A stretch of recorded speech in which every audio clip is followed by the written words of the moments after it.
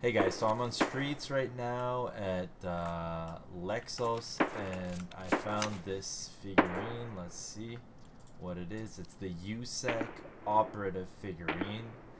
Here's how it looks like. It's for the Hall of Fame in your hideout. The Tarkov collectible figurine of a USEC NPC, uh, PMC fighter. Sorry. Uh, this uh, USEC operative is tough, deadly, and doesn't really speak Russian much. So you can see says USEC on him. He's holding an MDR, 556 MDR. And uh, I found it right here on this table. Uh, as uh, some of you might know, inside this is the, um, I believe, which entrance is this? It's the south entrance into Lexos complex right here by the Buddha Lounge.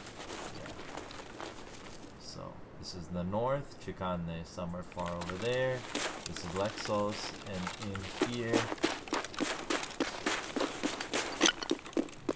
go to the left, right here on this table I found it.